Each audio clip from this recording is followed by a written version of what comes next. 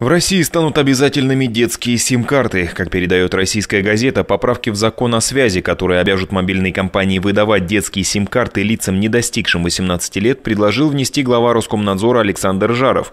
По его словам, это позволит родителям контролировать действия детей. Когда сим-карта будет привязана к ребенку, в ней должны быть определенные ограничения с точки зрения пользователя, а у родителей должна быть возможность доступа к действиям своего чада и возможность ограничения ряда функций на телефоне.